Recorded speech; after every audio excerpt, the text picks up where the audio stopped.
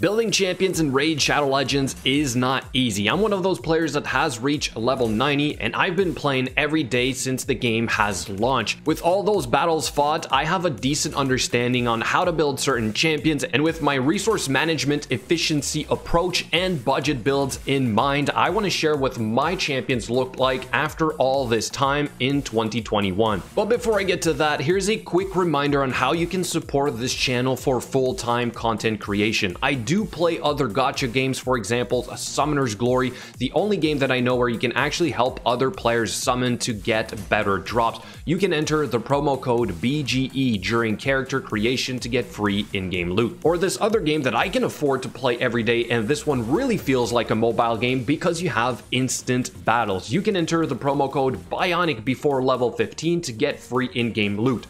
All download links will be in the description and comment section.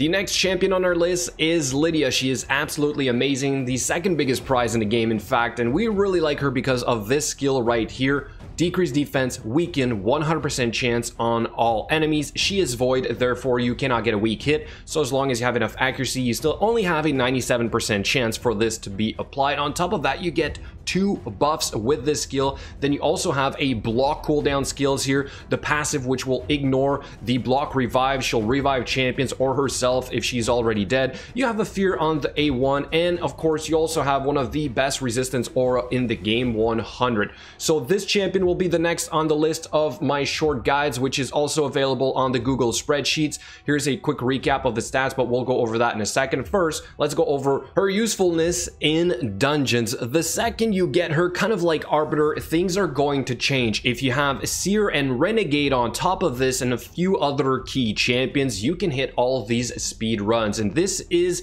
probably one of the biggest goal on any account to be able to hit these kind of speeds for farming dungeons. It makes a tremendous difference on your amount of playtime because let's face it, there's sometimes a little bit too many things to do in this game. So this is a Dragon's Lair stage 20 with two Royal Guards. For the Fire Knight, same concept, but instead we have have two uh, Cold Hearts. Then we have for the Ice Golem, you kind of need Septimus and Gurptuk for this to work. And finally for the Spider, you kind of also need Gurptuk and Bad-el-Kazar for this to work, Septimus as well. And I do have one of the same royal guards from the Dragon 20 dungeon in there. And by the way, if you guys want a full breakdown of all those dungeon runs, these videos are available on a playlist on my YouTube channel. It's called Raid Shadow Legends BGE's Dungeon Builds. We kind of go over my really fast dungeon builds as well as a couple of other older builds that I had before, kind of like my 100% success rate uh, speed runs or uh, when I got Arbiter, which I talked about the previous time. So make sure you go check those out if you want a little bit more information. The next place I use Lydia all all the time is obviously the Doom Tower. And you'll see that my order of importance is a little bit different than Arbiter, and I'll get back to that in a second. But basically, all the floors, literally all the floors between the bosses use the same, same team on my account. And up until maybe floor 100 here or so, maybe 99-ish, I can auto with this team, all right? So I will spend a little bit more time on this eventually, but Lydia is in there the same way she is geared for all those dungeons. She is the same for these um, Doom Tower floors, also some of the boss floors, she's also in there. Some of the bosses I don't farm. I don't really care about coming up with a better build. I always just focus on one of them, and that is, let's say, the team I am going to spend a little bit more time trying to tune. For example, Lydia is not in the Celestial Griffin team, which is the one I'm currently farming in this rotation. But now on to the arena, where Lydia is not currently in my classic arena team. Sounds a little bit weird. It's just because I don't really need her for farming arena. I've been using this team here forever. I kind of like the synergy in it, and I've never really lost a tremendous amount of battles on the offense while not using Lydia. But Lydia is really, really important, however, for the tag arena. So that is why I'm putting the arena as a third on the list of importance for what I do with her in terms of specifically this, right? So my teams are um, a little bit to mix and match. It might change here and there every once in a while, but overall, she is a lead. Her aura is so fantastic, and much like Arbiter, you kind of want her to be in the lead because you can maximize on that extra resistance, especially if you have a team of very high resistance champions. Now, this is not exactly always the teams that I'm running. I might switch this around a little bit, but it's just to give you guys an example that while being really fast and with the stats you'll see today, she's actually really good as a leader. So now on to her gear, which as you can see is three sets of speed because number one thing, if you want to do those speed runs in the dungeons, you will have to hit a specific amount of speed. And uh, this is about 296 for me. It's pretty much at the top of that range that you need. You might be able to get around with using a little bit less, but because I use her also as a leader in Tag Arena, I kind of want her to be as fast as possible so I can sometimes beat those other speedy champions, you know what I mean? So uh, these are the total stats, but first let's go over these individual pieces. Number one, all about the speed, then I'm looking for accuracy and resistance, and that has to do with the Doom Tower. Again, I don't have a reliable block debuffs champion, I do have Brogni now, so it might change a little bit. But with the team that you saw in the Doom Tower, I need high accuracy and high resistance if I don't want her to get frozen all the time against all those waves with torments. We have defense percent for the gloves. We then have a resistance chest piece and we have a speed boots. As for the ring, we have defense, the amulet, we have HP. It just had a good amount of accuracy and resistance. And then for the banner, we have accuracy. You're kind of seeing the concept here of doing one resistance, either chest piece or banner, and then vice versa for for uh, uh, the chest piece, right? So the, the goal here is to hit those 330 plus for accuracy and resistance while keeping a good amount of speed or the right amount of speed, and then also trying to have as much defense as possible. As for the skills, they are all done. That is pretty easy. And then here are the masteries that I decided to go with. Again,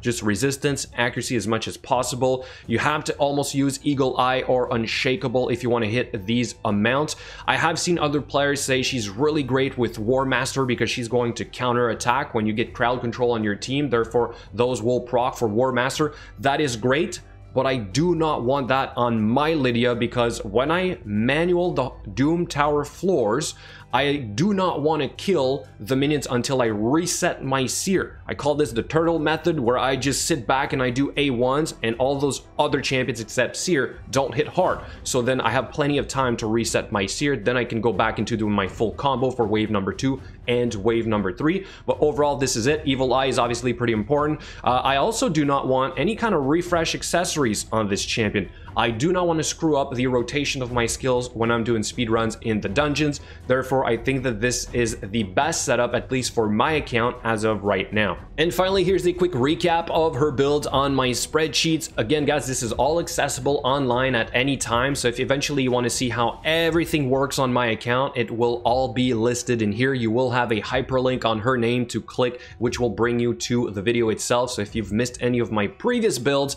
they will all be in here. So her speed speed 296. She's in my range, what I'm calling 277 to 296. I'll get back to that in a quick second because that is to properly speed tune for, let's say, uh, Spider and Fire Knight as well. So you saw all the gear right here. And finally, uh, the three importance of uh, the use, right, in the order. So Dungeons, Doom Tower, and then Arena.